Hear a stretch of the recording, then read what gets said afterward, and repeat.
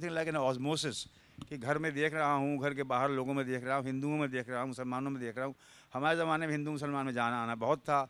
और जैसा कि असद ने कहा, हम लोगों की बहुत सी रस्में हिंदुओं की रस्में हैं और इतनी कि बहुत से लोग जानते भी नहीं हैं। उनसे कहा जाए कि हिंदू की रस्में तो बुरा मान जाएँगे। वाह साहब, वाह तो हमारे यहाँ चली आ रही है पुरखों के ज़माने से। तो वो सब बहुत सारा मैंने इस तरह की चीज़ें एब्सॉर्ब की।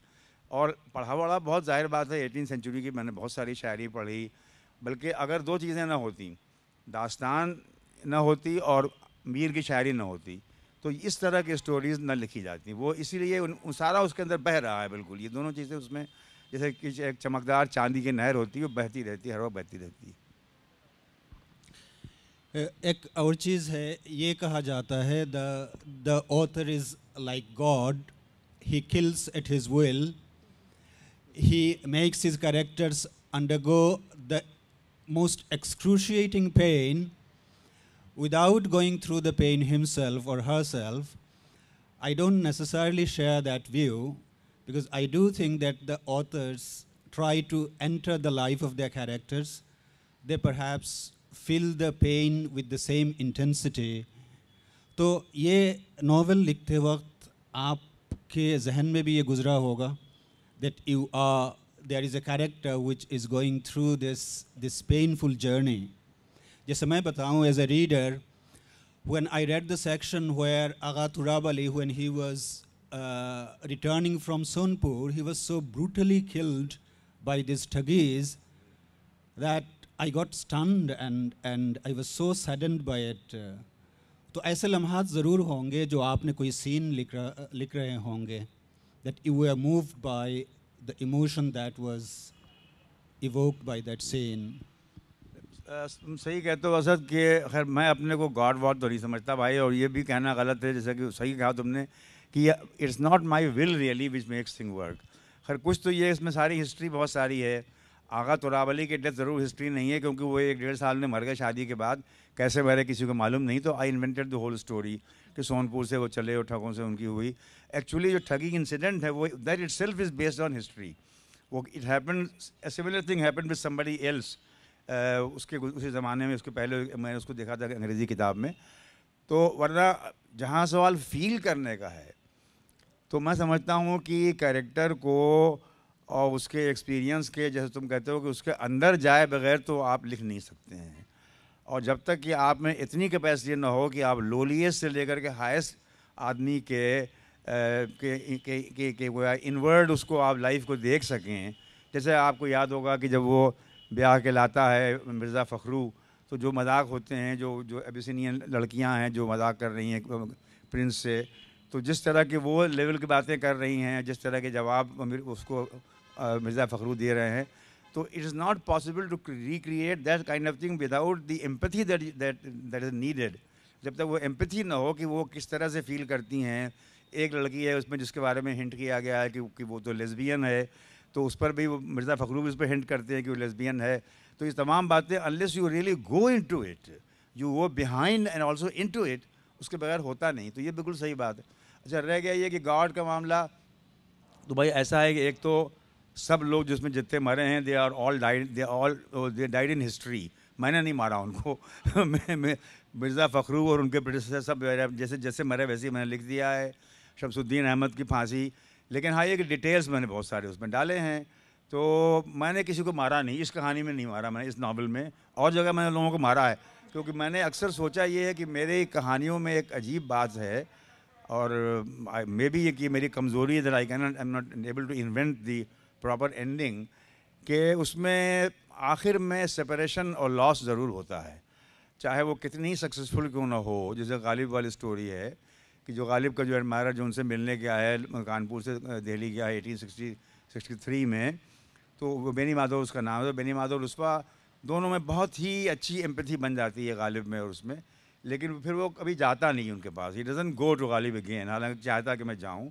यहाँ तक कि ही हेयर्स अबाउट गालिब दे तो फिर वो रोता है एंड सो फोर्थ तो सम हाउ एक सेपरेशन और लॉस मेरी साइकी में कहीं बैठा हुआ है। कि शायद दुनिया का इंसान का यही एक मुकद्दर ही है कि उसे आखिर में चाहे वो कितने ही कामयाब क्यों न हो, आखिर, आखिरकार प्रॉफिट प्रॉफिट के बारे में जैसा कहा जा, हमारे प्रॉफिट के बारे में कहा जाता है कि उन्होंने एक दिन कहा कि अल्लाह ने मुझे एक, अपने एक बंदे को दो अख्तियार दिए कि या तो तू मेरे पास आ जा या दुनिया में रह। तो मैंने उसके पास जाना मंजूर किया। तो जब ये बात उन्होंने कही तो लोग समझ गए कि हाँ अब इनके आखिरी दिन आने वाले हैं। He is not going to be with for a long time तो हर हर एक में, यानी even man like the prophet Muhammad जिससे बड़ा हम लोगों के ख्याल में कोई आदमी नहीं, मुसलमानों के ख्याल में, और जनरली भी लोग समझते हैं कि बहुत बहुत बड़ा रेवोल्यूशनरी फिगर थी दुनिया में वो तो उसको भी एंड होना पड़ता है। There is an end to it चाहे वो सेपरेशन हो, चाहे लॉस हो, चाहे डेथ हो। तो जितनी स्टोरी मैंने लिखी है, पाँच सात सब में ये ज़रूर हुआ है कि आखिर में डेथ अकर करती है, लेकिन उन सब डेथ्स का मैं रिस्पॉन्सिबल हूँ। इसके किसी डेथ का मैं रिस्पॉन्सिबल नहीं हूँ। में बुराइयाँ हैं, उसमें कम से कम ना हो। हम झूठ बोल लेते हैं, हम अपनी बीवी से बेवफाई कर लेते हैं, हम शराब पी लेते हैं, हम जुआ खेल लेते हैं, अपने बच्चों को ध्यान नहीं देते। मगर फारूकी साहब क्यों कर रहे हैं साहब उन्हें नहीं करने, करना चाहिए। तो अगर फारूकी साहब कर रहे हैं तो गलत हो, ऐसा, गलत ऐसा गलत कह रहे हैं लोग। अब देखिए सदरुद्दीन आजुर्दा मरे जो उनके दोस्त थे कि बहुत मशहूर बहुत मशहूर आदमी थे बहुत बड़े आदमी थे मरे वो। तो रा, नवाब रामपुर ने ये चाहा कि जो पेंशन उनकी उनको मिल रही थी सदरुद्दीन आजुर्दा को वो उनकी बेवा को मिल जाए। अभी दोनों का आखिरी ज़माना है गालिब भी बूढ़े हो चुके हैं मरने वाले हैं तो लिखते हैं कि सरकार आप उन्हें क्या पेंशन देते हैं? मुफ्ती जी की बीवी के बाद बहुत कुछ मौजूद है। हमें दे दीजिए तो ज़्यादा अच्छा था। तो तो अब ये भाई आदमी ये कैरेक्टर है। तो बड़ा शायर होना और चीज़ है और बड़ा आदमी होना और चीज़ है। तो गालिब में जहाँ बहुत सारी अच्छी क्वालिटीज़ हैं, उनका सेंस ऑफ़ ह्यूमर है, उनकी ब्रिलियंस उनकी वेट उनकी वेट है, उनकी लर्निंग है। तो मगर इसमें I haven't done anything wrong with Ghalib, क्योंकि मैंने जितना, देखिए, उनको जितना एडमायर किया गया, उनकी शायरी को मैंने पूरा लिख दिया है। और हालाँकि अब लोग समझते हैं कि गालिब को उस ज़माने में लोग एडमायर नहीं करते थे, ये भी गलत बात है तो उसको मैंने कहा ये गलत है। अब ये जो उन्होंने शमसुद्दीन अहमद के साथ उनकी एक एनिमिटी थी, वो तो भाई मैंने इट वॉज़ इट हिस्टोरिकल है, इसमें कोई झूठ तो है नहीं। तो उसको मैंने, वो अनफॉर्चुनेटली कुछ लोगों ने मुझसे ये कहा कि जब Ghalib comes out as an unsympathetic character तो भाई अनसिम्पथेटिक कैसे, जब बाद में दास से उसका इनकाउंटर होता है गालिब का, कितने मोहब्बत से मिलते हैं, कितना उसको इंकरेज और प्रमोट करते हैं। तो आई डोंट थिंक बस ये है कि चूँकि वो हमारे हमारे देवता हैं तो हमारे देवता के नाखून बड़े बड़े क्यों हैं? छोटे होना चाहिए था। हाँ मतलब हम भी इसमें ये कहना चाहेंगे कि somehow you know it reminds me of you know women's issues also कि जैसे कि होता है कि you know we don't allow our mothers to be human you know because if we show them to be you know kind of envious of और you know और frustrated और behaving in any way which is not does not suit them then you know like we are confining them. So also it happens with our greatest poets and uh, our you know कि हम चाहते हैं कि वो बिल्कुल flawless personalities हों। हमें तो लगता है कि एक वक्त आएगा कि जब इसको हम लोग इस तरह भी समझ सकेंगे कि इसमें गालिब के परसोना को रिलीज़ मिला है। यानी कि I mean we allowed him to be what he was and still we love him for his poetry you know so I think कि ये एक बहुत ज़रूरी एक स्पेस uh, है जो कि अब हमारे ख्याल से हम लोग अब बनाते जा रहे हैं। और बहुत सारे अब हमने इधर uh, कई राइटर्स को पढ़ा जिन्होंने मतलब वुमेन राइटर्स जो अपनी मदर्स के बारे में या अपनी लाइफ के बारे में जब लिख रही हैं तो they are able to be unselfconsciously they are able to be critical of their mothers which is okay and i think you know they are doing a good turn to their mother in a way by allowing the mother to come out as a human being with her own frailties or failings so i would say that you know and also wazir khanam जो इस novel का की जो पूरी protagonist हैं जो जान है उसमें भी आप देखिए कि इनएविटेबली जब भी नावल पे डिस्कशन होगा तो जो लोग एक ऊपरी एक सुपरफिशियल डिस्कशन करने तो वो फ़ौर यही कहेंगे कि वो शायद वो तवाइफ थी या कोर्टिज़ान थी तो मतलब ये कि एक नीड महसूस करते हैं हम लोग कि हमेशा एक स्ट्रेट जैकेट करें हाँ या एक कंपार्टमेंट बनाएँ। मतलब एक मॉडल ऑफ़ एग्जिस्टेंस की जहाँ तक बात हो रही है। तो ये तो लाजिम ही है कि जब आप किसी भी इंडिपेंडेंट माइंडेड औरत को दिखाएँगे किसी इस तरह के इस ज़माने में जिस सेंचुरीज़ में है तो ज़ाहिर है she can not be a normal ब्याहता woman जो कि एक शरीफ, वो उस भद्र महिला वाला जो एक कॉन्सेप्ट है, वो नहीं हो सकती है, क्योंकि वो अगर भद्र महिला उस सेंस में हो जाएगी तो वो तो फिर कुछ कर ही नहीं सकती, ना उसके बारे में कोई कहानी बनेगी। जब वो कुछ करेगी ही नहीं तो उसके बारे में कहानी कैसे लिखी जाएगी? कि जैसे वर्जिनिया वुल्फ पूछती है ना कि in room of one own के जब मैंने सारी लाइब्रेरीज छान मारी और मैंने देखा कि सब किताबें मर्दों के बारे में हैं कि मर्दों ने ये किया, मर्दों ने वे किया तो मैं सोच रही थी कि औरतें क्या कर रही थी? इतनी सदियाँ गुजर गई, औरतों ने कुछ नहीं किया तो कह रहे, औरतें बर्तन मांझ रही थी और बच्चे पैदा कर रही थी। तो ज़ाहिर है अगर वो सिर्फ़ बर्तन मांझेंगी और बच्चे पैदा तो अगर मान लीजिए कि वज़ीर खानम जो हैं वो मैरिड औरत के तौर पे नहीं हैं तो इसमें क्या प्रॉब्लम है? मेरे सब मुझे लगता है होती हैं।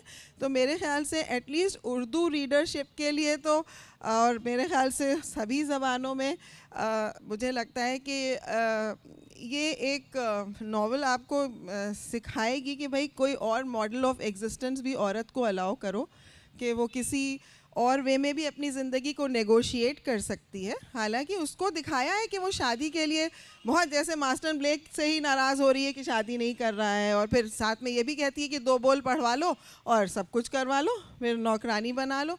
लेकिन जानती भी है, लेकिन उसके लिए क्रेव भी कर रही है। बट कम से कम एक मौका तो दिया गया है ना उसको चलने फिरने का।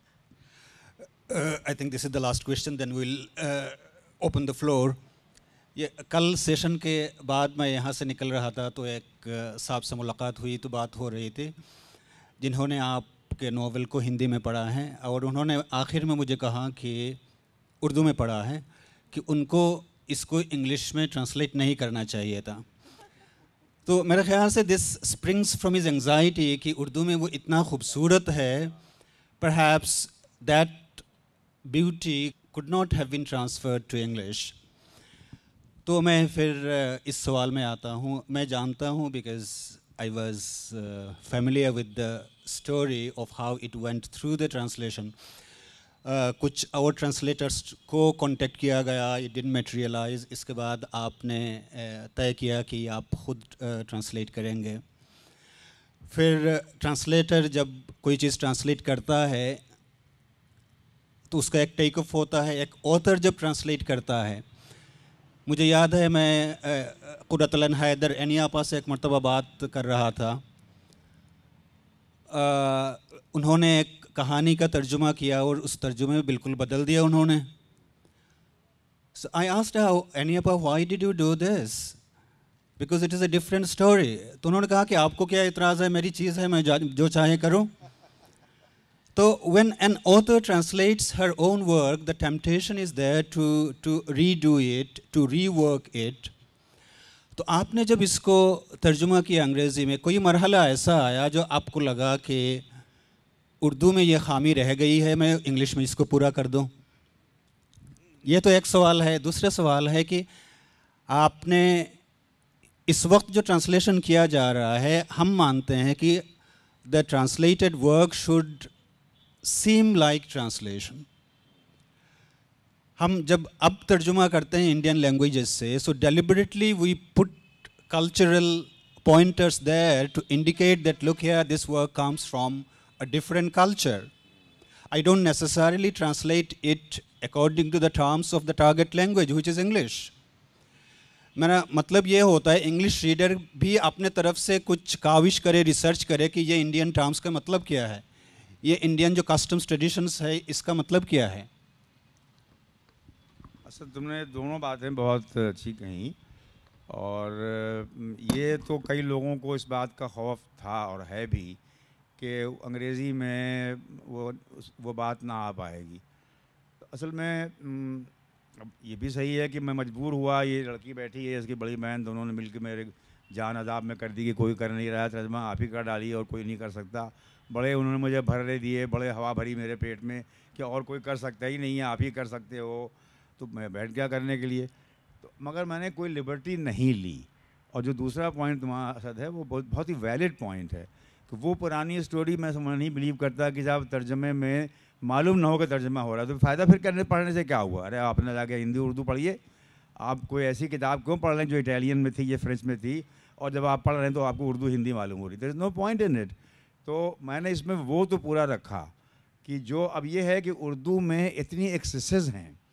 तुमने ये कहा कि मुझे कभी ऐसा लगा कि अंग्रेज़ी, उर्दू इनएडुकेट हो रही है अंग्रेज़ी के मुकाबले। उल्टा ज़रूर देखा मैंने। कि अंग्रेज़ी इनएडुकेट हो रही थी उर्दू के मुकाबले। में मैं एक मिसाल देता हूँ मुझे मोहब्बत का लफ्ज़ ले लो। अब इतना ये बार बार इस्तेमाल होता है, अंग्रेज़ी में इसके लिए क्या लफ्ज़ हैं?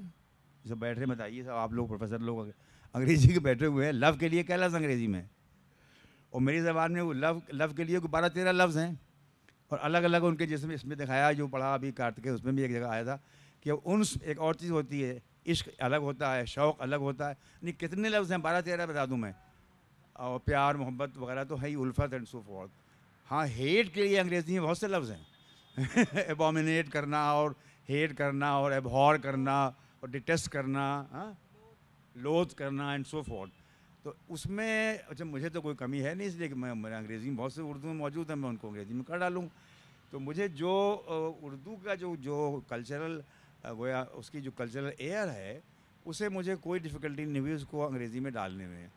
प्रॉब्लम ये थी कि फिर अंग्रेज़ी अंग्रेज़ी मालूम होना चाहिए। It should not sound like non English तो असद ने लिखा भी अपने रिव्यू में कि कहीं कहीं मैंने there has been a lapse on my part कि मेरी अंग्रेज़ी इंग्लिश इंग्लिश नहीं मालूम होती। लेकिन ज़ाहिर है कि डेलिबरेटली है वो। मगर ऑन द होल ये ज़रूर मेरी कोशिश थी कि उस किताब की जो अंग्रेज़ी की रवानी है अभी रवानी ऐसा कॉन्सेप्ट है कि इसको हमारे यहाँ संस्कृत में अरबिक में फ़ारसी में उर्दू में बहुत इसको इस्तेमाल किया जाता है। और it's really impossible to explain what exactly Rawani is अंग्रेज़ी में कह लिए फ्लोइंगनेस कह लिए, लेकिन बात नहीं आती। Anyway I try to maintain और create that's out of English language जिसमें कि फ्लोइंगनेस हो। वरना और मुझे कोई ऐसी मुश्किल नहीं हुई। और ज़ाहिर बात है कि जो एक्सेसर है अंग्रेज़ी में, बहुत उर्दू में है, जैसे मैंने अभी आप मिसाल दी आपको, ऐसे बहुत से लफ्ज़ हैं। ऑनर के लिए लफ्ज़ हैं रिस्पेक्ट के लिए लफ्ज़ हैं, जो उर्दू फ़ारसी में बहुत हैं। और अंग्रेज़ी में बहुत ही कम है तो ज़ाहिर है कि मुझे सेक्रीफाइस करना पड़ा। तो that's about all on the whole I think कि जहाँ तक मैं समझता हूँ कि इसको ऐसे बहुत से लोगों ने पढ़ा है। खैर you are unique person she also in the same category के जिन लोगों ने उर्दू भी पढ़ी है, अंग्रेज़ी भी पढ़ी है। बहुत से लोग जिन्होंने कि उर्दू नहीं पढ़ी है, हिंदी भी नहीं पढ़ी है और केवल अंग्रेज़ी पढ़ी है, वो ज़्यादातर लोगों ने ये कहा कि the novel reads very well like a work in English तो ये मैं समझता हूँ कि इससे ज़्यादा कामयाबी हो, मैं क्या एक्सपेक्ट कर सकता था।